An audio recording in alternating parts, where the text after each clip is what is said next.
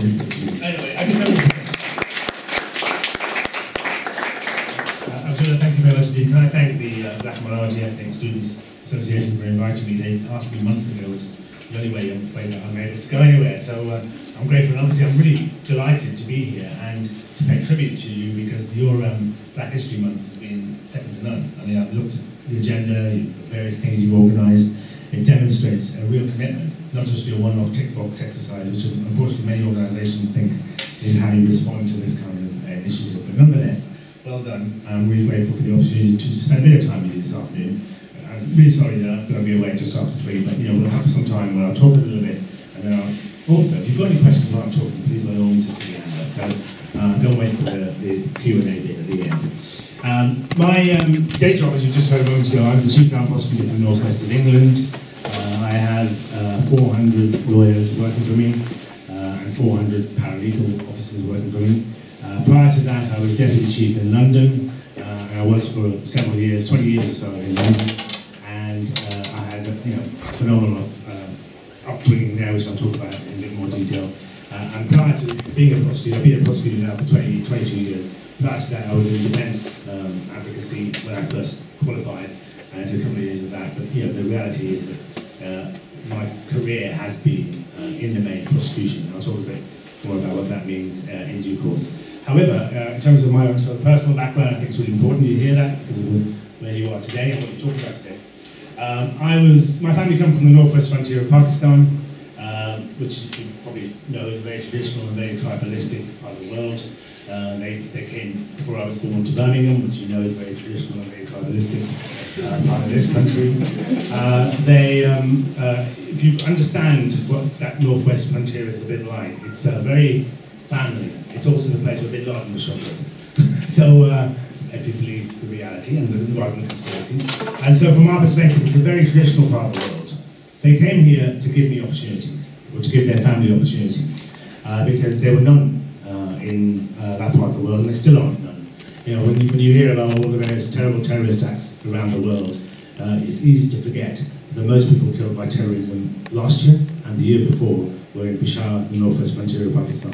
So it's the place where the victims exist, uh, and not just those who you might imagine are perpetrating around the world. So from my perspective, uh, that's that's my upbringing. I, uh, when I arrived, or when they arrived in Birmingham, uh, I was born in Birmingham, and uh, those you're too old, too young to remember what Birmingham was like in the 60s and 70s. Probably not unlike what Sheffield was like in the 60s and 70s. There was a lot of overt racism. Uh, it wasn't religious or any of that nature. It was all about the colour of your skin, uh, who you were. You were an outsider, what you were like.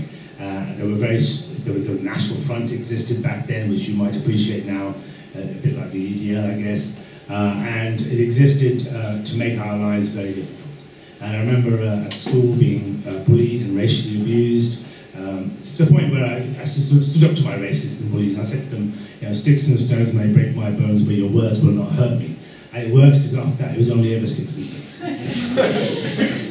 and um, I got through that. I was very fortunate to, uh, to qualify as I did. Uh, I went to, went to university in Birmingham, uh, which is you know, a very good university, uh, as good as this university. And but again, I was beaten there. I remember uh, coming home, after, I was uh, vice president of the student union uh, for a year, and uh, I was coming home late after some event that I'd been uh, looking after, and three guys just jumped me and uh, started beating me around the head, and weren't for the fact that I, you know, I don't know, some self-defense mechanism told me to get into the road. yeah, I did. and they ran off. the taxi driver stopped, picked me up. I was dazed, very dizzy from just being attacked. And he said, let's him and uh, thankfully he didn't find them because I, there's no way I would be able to contribute to let's get them. Um, but nonetheless, uh, I, went, I went home, my father, God bless he's passed away now, he said, Nazir, get used to it. Um, nothing you can do about it, uh, and it's uh, just part of growing up. And it's a shame, uh, but he was right. And it's not the it's not the case now, though, and I'll talk a bit more about that since.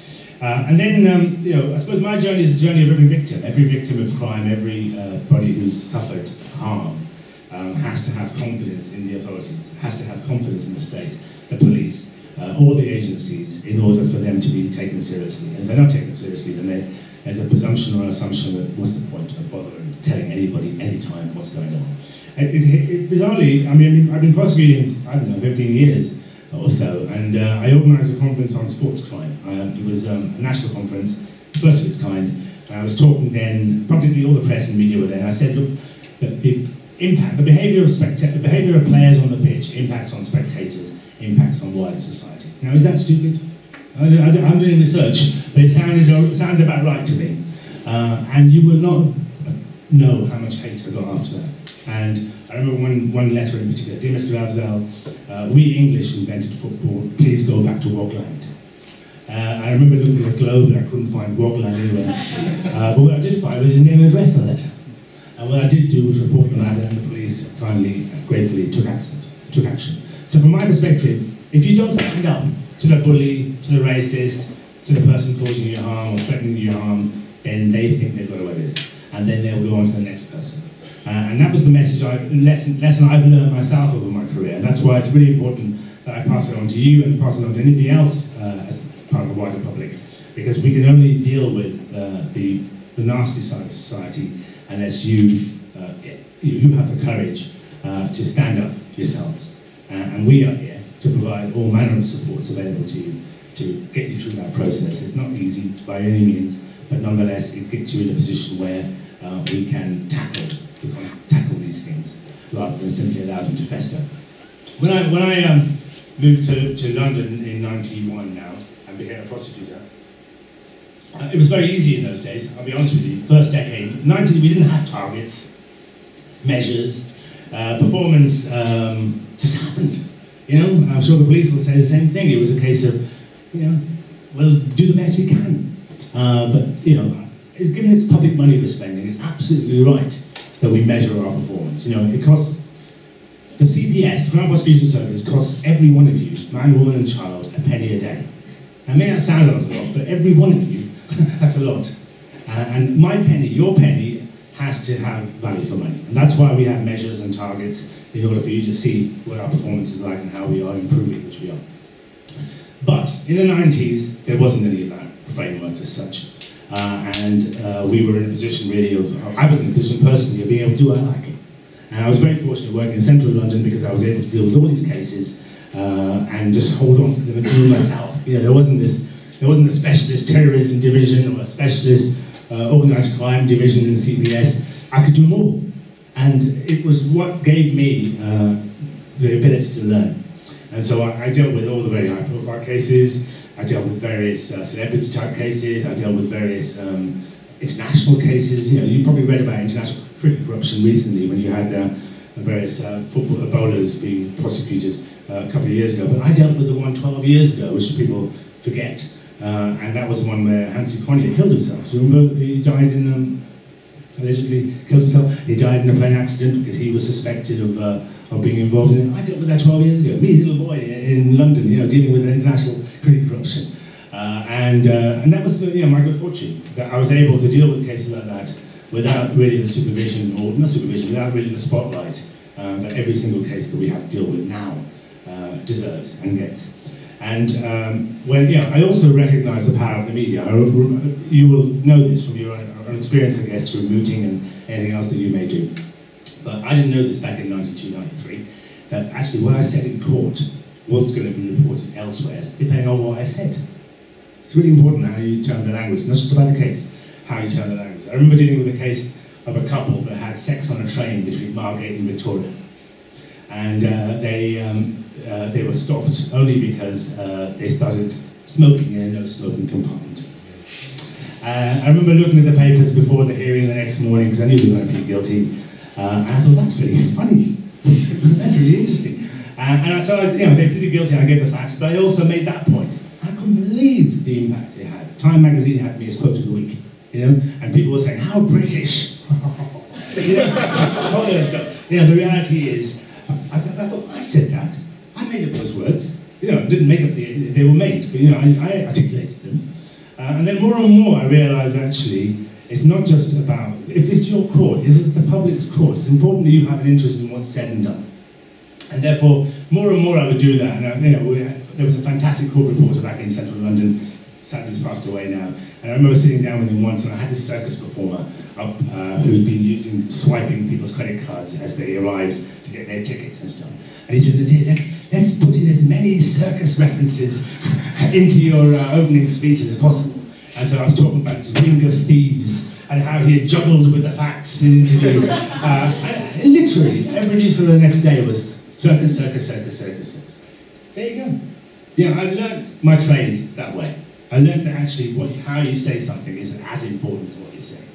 And in recent months, in recent years, on some of the very high, high profile, very complex cases I've dealt with, I've been very keen to work with the communications people that I have, the press people that I have, to use the right phrase. Stuart Hall I dealt with, you probably remember, BBC presenter, I dealt with him a few months ago, and I used the phrase opportunistic predator. And everybody now calls him an opportunistic predator. Copyright Nazir Afzal, who hasn't already? You know? The point is you can find a phrase, if you can, to encapsulate what's being done. People are very um, lazy these days. Uh, they don't want to read the whole 80-page transcript or 30-page judgment. They want it in uh, sound bites. They want it in a position that will enable people to go away and know what the situation is without having to read it all. So uh, from my perspective, uh, I learned about the power of the media. I learned about, the, uh, more importantly, the link I would have with the public in what I did. So I went further. So it wasn't just about the media. So back in 2000, or 1999, I decided, let me go out to the public.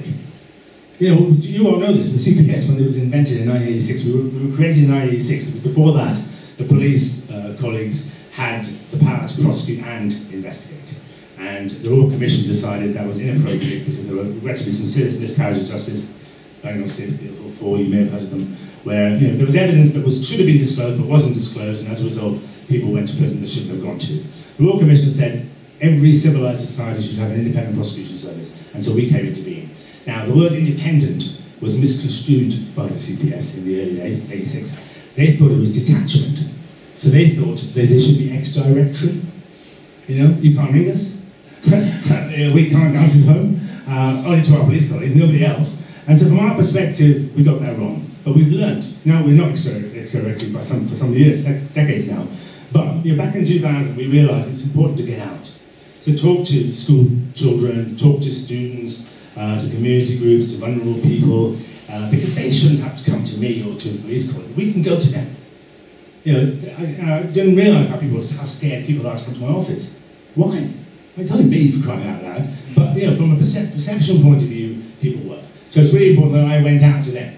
And so we did more and more of that to the point now where it's part of our strategy to engage with the public. And it's not just about telling, in fact, it's not about telling, it's about informing our decision making. There's a real business case. The better our, our decisions are so much better if we know things. If you tell us that there's a serious concern in a particular community, then the police officers will know uh, about what to look for. We as prosecutors will know that this is very serious, even though it might be perceived as a minor offence of some kind. It's serious because of the impact it has. But we wouldn't have known that if we hadn't spoken to you about it. If you hadn't told us there was some issue in your particular uh, locale, that's something we wouldn't have picked up on. If you hadn't told us there was something your community was concerned about, that's again something we wouldn't have picked up on. So there's a real business, a strong business case for us engaging with the community. And we've now, as I said, moved from a period of not doing it at all to literally we're, we're in your faces now. Yeah, uh, absolutely essential that we have this discussion. You, you may have picked up, if you go to the cps.gov.uk website, you'll see we've got guidance on this and guidance on that, all aimed at national consistency, so everybody gets the same service anywhere. And all of that guidance has been put out to consultation. So we ask the public's views, we ask uh, vested interests their views, community groups, NGOs, we ask them their views so that our decisions can be so much better because we've heard what you had to say. So one example about that, in the most recent example about that, was only last week. We published our national uh, guidelines on how we deal with child sexual abuse. And uh, we, we, we, put them out for several months to get your views. And one of the, view, the major bits of feedback we got was, Nazir, can we not put in there something about myths and stereotypes? Because there are lots of myths and stereotypes that are applied to decision making. You know, if she's wearing a short skirt, she asked for it. You heard that one? Uh, if she's been drinking, she asked for it over and over and over and over again. So it's really important for us to make sure that we have the, that dealt with in our guidelines so that nobody makes that stupid mistake. Nobody applies those myths and stereotypes to any decision that they have to take. But you that was one bit. Of, that's only a tiny bit of a, of a very big piece of guidance. But from my perspective, that came from you. That came from the public. That came from women's groups and NGOs who work in this field, who told us in no uncertain terms that there was an issue for them.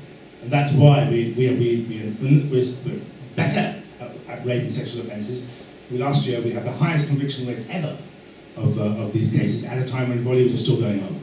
Uh, but, you know, you all know this, but in the 80s and 90s, the first question too many officers asked, and too many prosecutors asked, uh, of a victim was, did it happen? You know, you would ask, if you, have you been a victim of burglary, for example? You've been burgled, police officer won't go in there and say to you, have you been burgled? You know, the starting point would be, you tell the truth. Let's work from there. Let's build a case.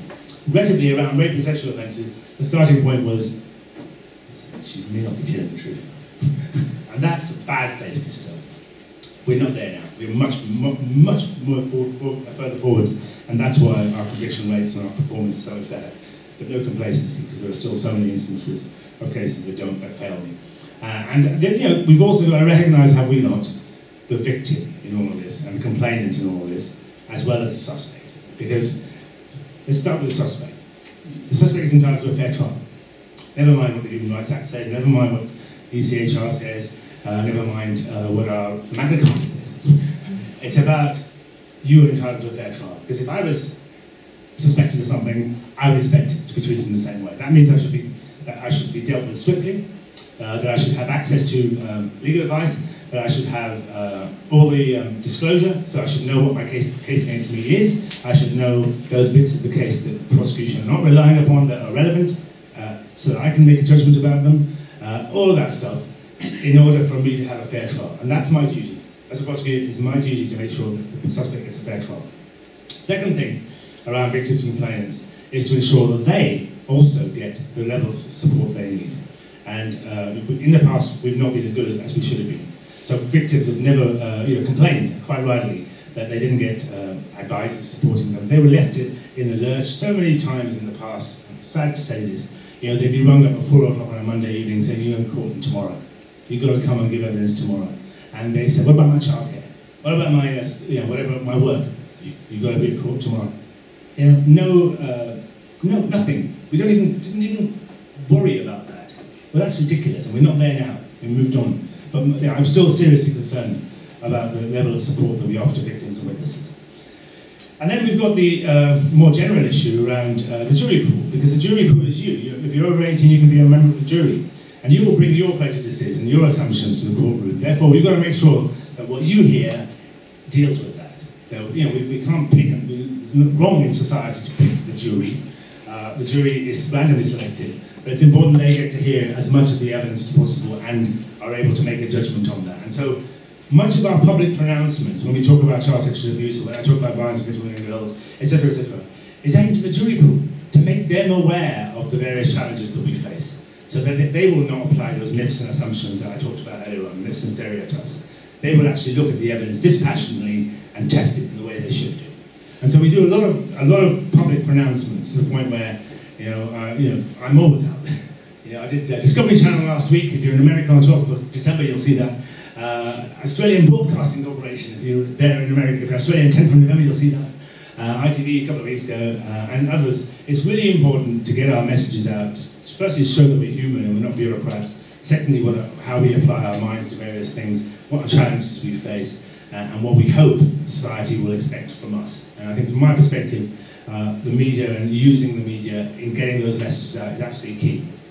We also use fiction. I'm legal advisor to EastEnders. Anyone watch EastEnders? Uh, well, I can tell you all sorts of stuff's going to happen in Christmas and thereafter, but I can't. so, uh, but it's important, to, from my perspective, to give them as much advice and information, because we often use EastEnders, and Law, Law and Order UK, do you watch that at all? I'm their advisor too. And know, we make sure that we use the media, fiction, also to get messaging across. You know, talk about, there was a really good series, a really good program about stalking that they did, for example, because I wanted stalking to be talked about. At the end of the program, you know, here's the helpline. And dozens of people did ring up to get help and support and advice. So you can use fiction never mind faction, and never mind real news, to get messaging out to ensure that victims uh, feel more confident about coming forward. Uh, and from my perspective, you know, any means by which we can do that any lawful means by which we can do that, uh, we'll make the most of uh, and use. But you know, EastEnders don't listen to me. Know, I tell them what, what if you don't come back to me after Christmas when you hear what's going to happen and say, use. No, I didn't. I told them what it should look like. Uh, but yeah, I learned a long, time, long, long time ago, drama always wins out against reality. So you know, they will do it their way, but they'll know what the um, bits and bobs of the law are. So it may look like the, the real thing, uh, even though it's absolute nonsense. Don't quote me on that. And so, um, from my perspective, it's really important to get that information out by any means necessary. And I have all my prosecutors, not just the ones in law. I'm national lead on violence against women and girls, so it's really important for me uh, to ensure that there's best practice everywhere in the country. Uh, I'm national lead on honour-based violence and forced marriage. Similarly, best practice all the way across the country. I'm national lead on child sexual abuse, best practice everywhere around the country. National lead on stalking and harassment, best practice everywhere in the country. International lead on some of these subjects. So, you know, some, some of our colleagues will know I've, I've been in Paris, Madrid, uh, New York, talking about these subjects. Because they, want, they think we're pretty good at it. I don't think so, but they think we are. And therefore, I'm happy to share good practice with them. You know? And other jurisdictions, you know, you name it, uh, name a country, Belarus, you know, they'd be in touch. Their judges would be in touch to, come, to give us some idea about what's going on and how you're doing, dealing with this particular issue or that particular issue. Any European issue, South Asian issue, South American, they're, they're desperate to talk to us. And I'm very keen to share good practice and to learn. So there's something really good that they're doing in France, if there is, uh, then I'm, I'm, more than happy to, uh, to accommodate it and see whether or not we can implement it here. In Sweden, for example, uh, and I don't think this is entirely possible. In Sweden, the prosecutor prosecutes, but the victim gets their own lawyer as well. Right? Now, you have try having that conversation with the uh, Ministry of Justice uh, and see if they'll pay for two lawyers for, uh, for any, anybody. Um, so, you know, there, there may be well be good practice in other parts of the world, but it doesn't necessarily follow that it can be adapted, adapted here. We have to work within our constraints and our resources, but we work internationally as well. So, and I, I, you know, we global, crime is crime is global, and so you have to work in other jurisdictions. You have to talk to uh, people. I dealt with a case a few years back of a murder of a young woman called Banaz Mahmood. She was 19 and she kissed her boyfriend outside of a tube station, and she was killed that evening by her family for doing so. Uh, and uh, not only did I prosecute her father and her uncle successfully uh, for murdering her, she was buried in a suitcase in Birmingham, by the way.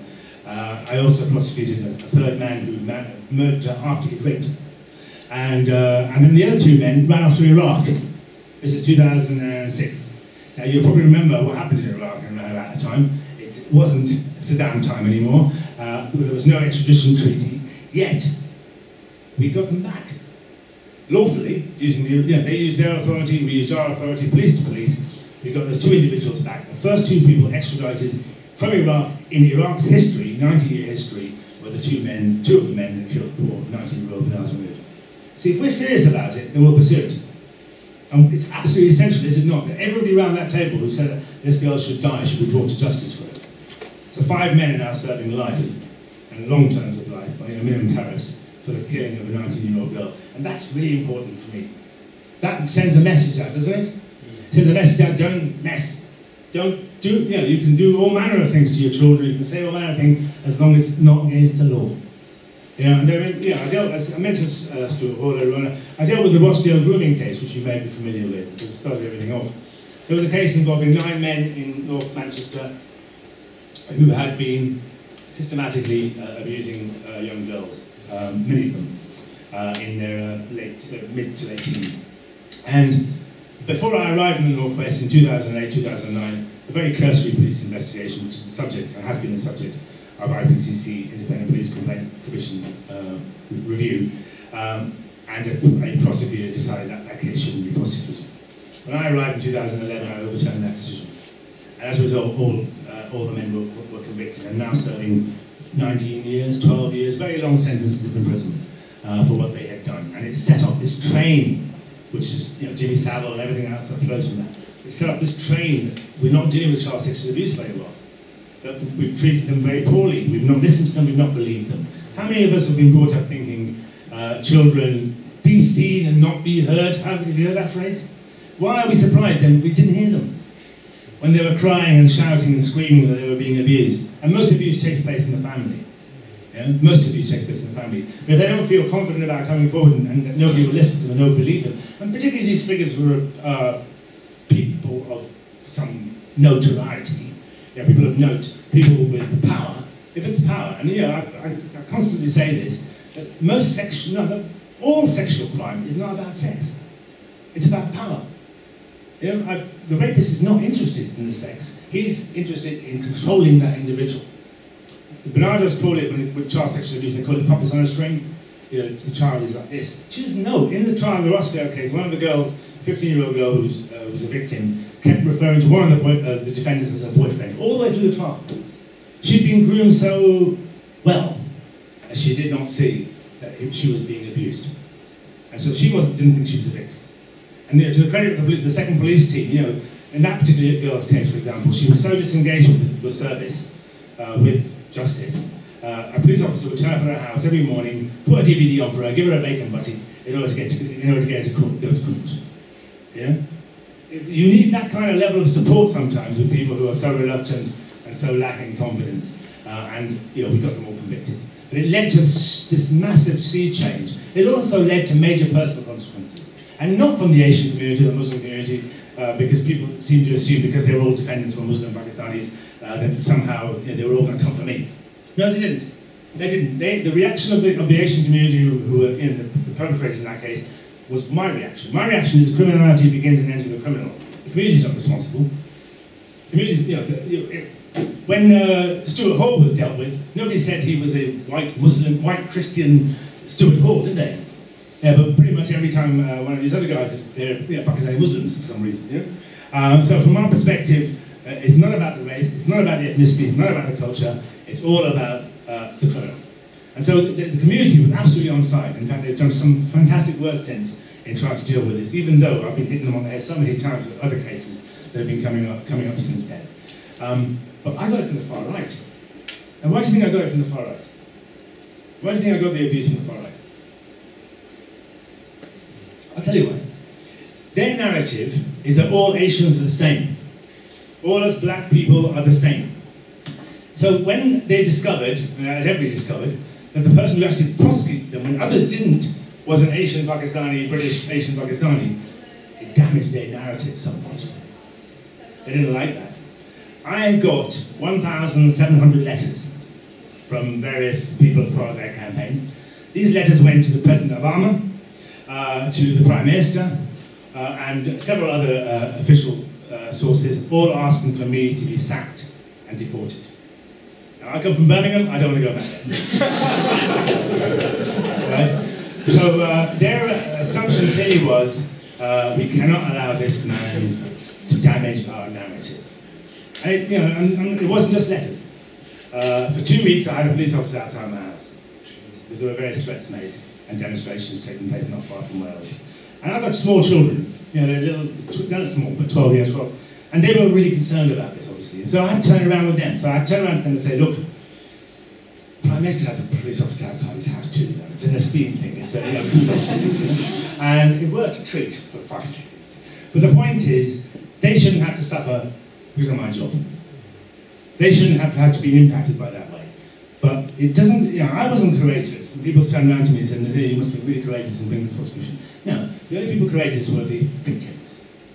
Because they had to stand in court, be examined, cross-examined 11 times. One girl had to be cross-examined 11 times over 10 days about her evidence. She was 16. Have you been, anything been cross-examined? Once? 11 times. On the ninth occasion she'd been cross-examined by one of the defense barristers, she broke down and started uh, shouting at him for the question he'd asked. You know what his response was? He said, now is he the real you? Well, it took seven days and nine other barristers before the real you came out, you know? Uh, and I'm glad the judge stamped on that and said, ignore that question, that was totally out of order, you know? Um, they have to do their job. Their job is to test the evidence. But in a case that's dealt with today, the guy got sentenced today, you've probably read about this case, you're really bad to know. Uh, the case of the Asher family. The Asher family had um, brought over a young girl from Pakistan when she was 10. They claimed she was 20, she had a passport, when she, a 20-year-old passport. She was uh, x-rayed at uh, Heathrow, um, who, it's not not Heathrow, at the airport. Um, they didn't understand, they didn't take any note of the fact that she, she looked 10, acted 10, uh, x-ray suggested 10, the passport said 20. Uh, and uh, she was then kept in a cellar for nine years. She was only allowed out to carry out forced labour. She was working with the family in, in, in Manchester um, doing t-shirts. Now, what makes this worse is that uh, the uh, victim in this case uh, was deaf. Uh, she couldn't speak. Uh, she couldn't understand English. Uh, she had learning difficulties. Yet, we prosecuted that case. We provided her with an intermediary, with interpreters, everything we possibly could. A six to eight week trial lasted six to eight months. They were convicted last week. The father, the 84 year old father, was convicted of 13 rapes of this child. He today got a minimum of 13 years. That's his sentence. He's 84 years old, so we can say goodbye to him. Yeah? So, from our perspective, justice was done. But that's the kind of case, just two, three years ago, we'd have said it was too difficult. Because she, when she was giving evidence, just think about it, when she was giving evidence, it had to go through an intermediary who himself was deaf, signed, she doesn't know sign language, so she, they invented a sign language. They invented, uh, she had to do it from Urdu to English to English to Urdu. Do you know, in one day, they could only ask her eight questions. Do you know how many days she gave evidence for? 34 days, which will be, when it's finally, the count is done, the longest cross-examination of any witness in this country. But we, we wouldn't have done that before, because we would have thought that's too difficult. We put everything in place to make sure that she got her day in court. And you know the good news? Two and a half years after being found in the cellar, she could speak English. As best she can. She could sign. She's a confident young woman, not the woman in the cellar. That's what the justice system did for her. And when she was being, there was a retrial on some rape counts, uh, which finished last week. When uh, she was giving evidence, she didn't need half of the support we provided to her in the first trial. So we've changed her life 100% for the better. By we, I mean the police and prosecutors. You know, we, we've, got, we've took her from what she was to what she is now, and we have put to bed, literally, all of those people that did that to her. That's satisfying in the extreme. That's what makes me optimistic about what we can do for others. And that's why it's so important that you as lawyers, if you are lawyers, know that it's about making a difference. You know, if you want to work in commercial law, probate trust, anything of that nature, good luck to you and well done. I hope you can do it because we all need those lawyers. Yeah? But I, you know, from my perspective, I've been involved in criminal justice for 20 odd years. You know, I know that I make a difference every hour, every minute, every hour. Right now, as we speak, there are two men in custody you will all read about tonight. Right? You know, I dealt with them on the way here by Blackberry when I was parked up. I wasn't driving at the same time. right? And you will read about them because they are big cases. Lancashire 1, Lancashire 1, Greater Manchester Police. And you know, that's why I'm satisfied doing my job. That's why I enjoy my job. That's what gives me the thrill, the buzz. But at the same time, you know, 24-7, you know, the, the, the, you don't forget, sad to say this, forget 9 to 5 working. It doesn't exist anymore. Can't exist anymore because the public work in a different way. I have to, and I will happily go to events in the evening, weekends. I've worked 16 straight days. 104 hours last week. I'm sure the working time directive will come knocking on my door tomorrow, you know? Uh, but it's absolutely essential that I do that. I don't see it as work. When I'm engaging with yourselves or uh, with um, various community groups or in any environment, you know, I find that absolutely thrilling for me to learn from you, to hear from you, to understand your issues or understand people's issues. And that, to my mind, makes our decisions so much better. We make some fantastic decisions, and even when they don't go right. And there's a real reason why it happens. I dealt with a case about a year ago, not no, 11 months ago, of a young woman um, called Frances Andrade. You may have read about it. Frances was uh, sexually abused at uh, Chetham Music School in Manchester in the late 70s, early 80s by Michael Brewer, who uh, was subsequently um, uh, big celebrity as far as classical music was concerned. Uh, she gave evidence against him about the abuse that she suffered. A week after having do, doing so, she killed herself. And all the malarkey, all the flack was all about the court system killed her. You know, I know for a fact, I wrote to the defense QC, wasn't you. Don't even take it personally. I know the press and media are looking for a scapegoat. It wasn't you. I said that to her, to her face. Uh, I know because I met Frances' family a number of times. And Frances had been imp uh, impacted so much by what happened 30, 33 years ago. And she tried to kill herself pretty much every other year since then. and that um, she insisted, uh, we, we have to provide her with special measures so she can have a screen and all manner of things. She insisted on seeing her abuser in the courtroom. He was convicted afterwards. I had to, after she killed herself, the trial was still going on. I had to get the Attorney General's office to tell the press, you cannot report her death until the end of this trial. You know, we can't tell them we did. and thankfully they listened and they, they, they didn't do anything about it. Because I didn't want the jury to hear this, because they might be impacted upon by, by, her, by her death. Uh, he was convicted. He got a significant prison sentence. But Frances's family told me that just because it happened 33 years ago didn't mean it didn't impact on her. And I get this quite a lot recently because I've dealt, I'm with a substantial number of non-recent abuse cases from the 70s and 80s and 60s. Uh, and people are saying to me, you know, let bygones be bygones, you know. I look at Frances's case and I think, she never, was never a bygone for her. Why should it be a bygone for me? You know, why should it be a bygone for any of us? We've got to make sure he gets a fair trial. Absolutely. Well, they get a fair trial. But at the same time, we've got to make sure that she gets her day in court, properly supported through that process. Because just because it happened all those, time, all those years ago doesn't mean it didn't happen. And doesn't mean there aren't consequences that she and others have to live with. You hear, there are so many phrases, aren't there? You know, time heals all wounds. You know, let me use another legal phrase, bollocks. right? It doesn't. You know, it absolutely doesn't. You know, she was impacted every day by what happened to her, and so many of the other women that I've, I've seen and dealt with uh, in terms of victims and men uh, were impacted every single day. And you know, one of the other things that, uh, that I'm yeah, upset about is the use of language as lawyers, because we love our language, don't we? Using language that's used a word that perhaps you wouldn't hear in a courtroom, and uh, you might do, but not from a lawyer. And from our perspective, we need to get to the language of the people. We hide so much, you know, we've obviously moved some distance from when we apply for leave all the time.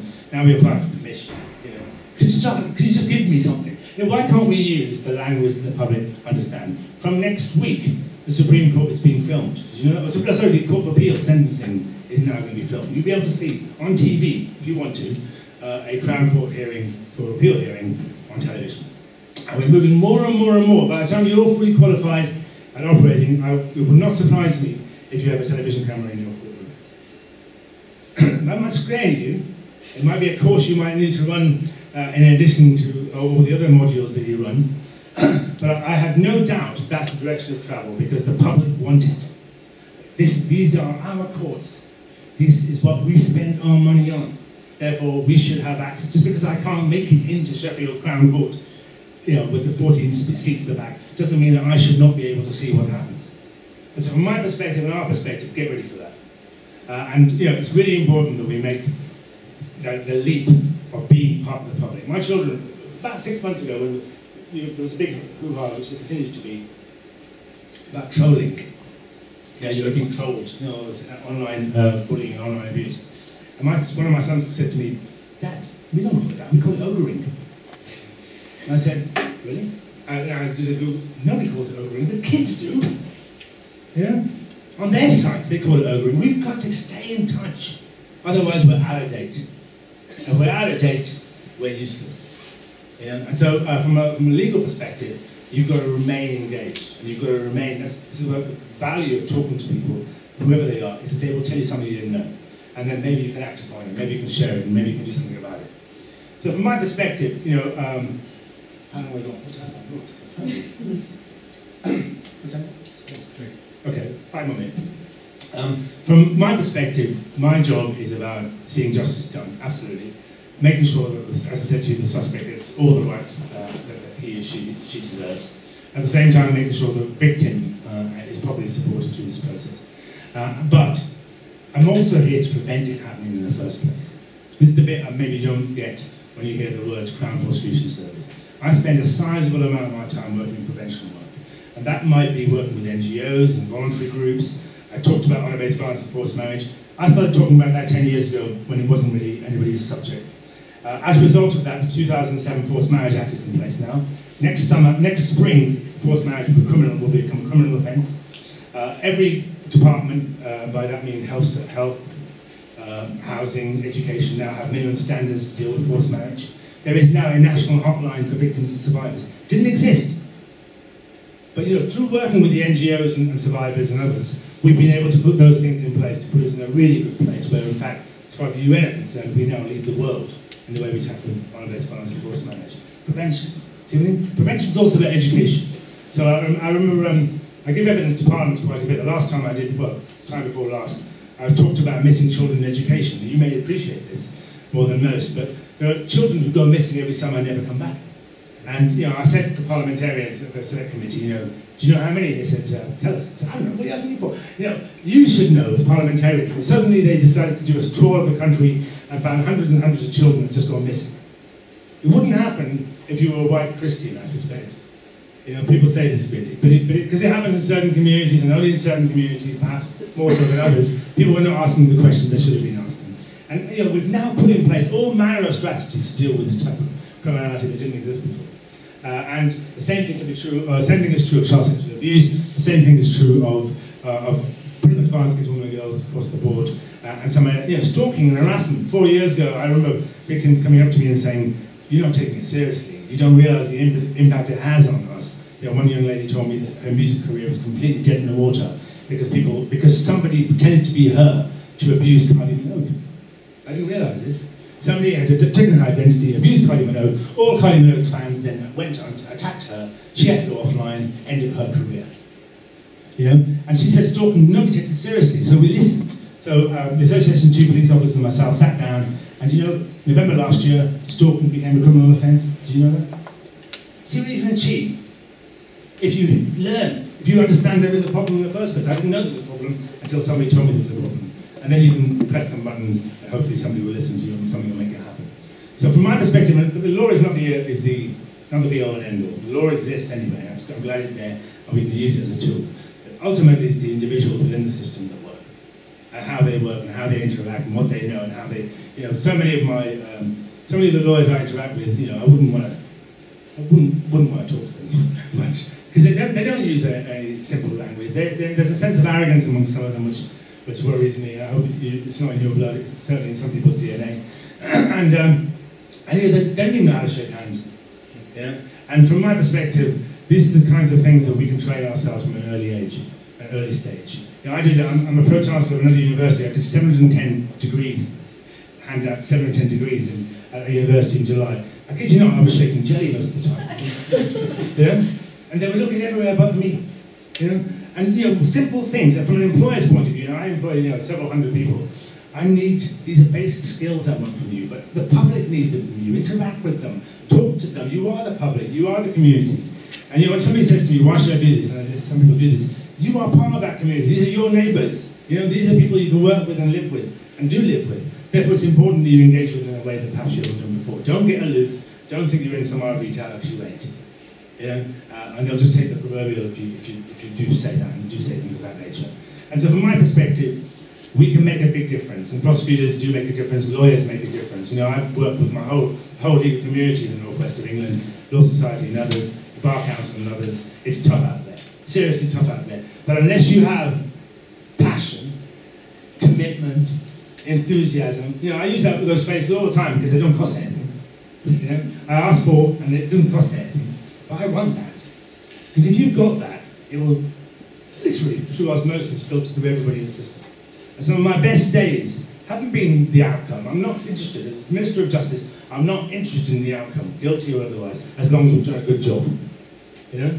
If we've done a good job. But my, my best days are when a victim or a complainant or somebody comes up, comes up to me and says, you did a good job today. That's what you should be striving for. Thank you. I'll stop there.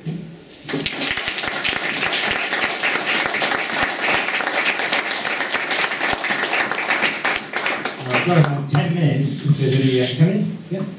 yeah. If there's any questions anybody would like to ask. Right, let's turn you into silence. Okay. you mentioned at the beginning that during your career within... Oh, oh, thank you. Hello. Hello. yeah. You mentioned um, at the beginning that within your career it, within criminal law, you've also done some uh, defence work, and I wondered why you had gone into that and then why you've come back to prosecution okay. what keeps you there? Well, it, easy, it was easy from my perspective, and it's a personal decision. I mean, I have a lot of defense, a lot of lawyers who work in defence work, and uh, tremendous respect for them. You know, I married one several years ago, and so from my perspective, it's not something that I'm totally concerned about at all.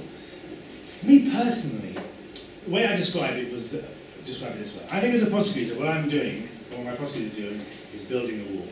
This wall is the is the evidence, right? Uh, which is more satisfying, building the wall, or as a defence advocate looking for the hole so it can come crashing down. Yeah? I would prefer I would prefer to build, and that's my own personal choice. But as I said to you, we, we it, it, yes, I remember giving a, a, a talk with a, um, a group I won't name them in London a few a few years ago, and they said, "Now let's hear from the dark side."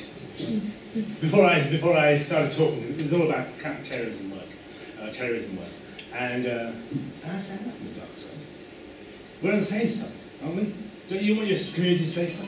Yeah. Are you are you saying these individuals are, are representative of your community? No. So from my perspective, uh, it's, it's a personal choice. It's one I found uh, I find it more fulfilling, but at the same time I have tremendous respect for those who work in the defence community. Yes. Or forever hold your peace. Gentlemen there. Uh, yeah, I have a question. Um, there's been a lot of uh, changes to legal aid uh, recently, and I know it's largely affected the civil uh, side. I wonder, has there been any impact you've seen, or any that you can see uh, in the way it affects your work? Yeah, well, from a, obviously we, we get a uh, budget anyway. Uh, we get a budget which has been from government, which has been reduced by 27% uh, since 2010. I have had to let go of I don't know, 120 staff just in the northwest of England, and I will have to let go of some more early in the new year. But, and it's a big but, crime's going down. I find it very difficult in terms of a business case to go to the Treasury and say, give me the same amount of money when I'm dealing with less work. Uh, the other thing to be said about that, because uh, is a lot more of the police work is being dealt with through restorative justice and non-prosecution work. So yes, I might be seeing less work, but I've got 27% less uh, money already. Uh, and there has to be something said, and one, of the government's arguments is about level playing field. They're saying if the state prosecution service is 27% less, then the state should be paying 27% less in legal aid. Because surely it should be equality of arms, if you really believe in equality of arms. Now, I know of firms of solicitors that are finding it very difficult uh, to cope. I'm finding it, junior bar are struggling. Uh, I know that, um, but these are, these are these are challenging times. It's not going to get any easier. You know, we can, you know, the, oh, we can't be like Canute and stand there and stop the waves from coming in. It never worked for him, did it? So from my perspective, we need to be cleverer. And one of the things we're doing, in terms of cleverer, is digital work. You know, if you go, you, you will see, before, before you qualify, so before 2016 or thereabouts, every criminal courtroom in the country will be totally digital. So the idea that you'll be walking in with your red ribbon and white ribbon, unless you run around your tablet device, uh, is, is a nonsense. Now, digital working provides us with tremendous opportunities. It's safe, saves, it's efficient, uh, it's secure. You know, the police send it to us electronically, we make sure that what you get, what the defence gets is electronically sent, the judge then gets it electronically. Everything's in place. So the biggest change, never mind the money that's uh, being reduced, from 2015, all legal aid contracts will require defence solicitors, will require solicitors to work digitally. Two years away, less than. Right? Now, to my mind, it doesn't matter that um, uh, you know, I can't stop the money from going, uh, but I have, what I've done, and I, I speak for my own uh, area, is I've actually resourced the things that matter. So I put more people into child sexual abuse, more people into violence against women and girls, uh, and some of the other things have, have, have, reduced resources.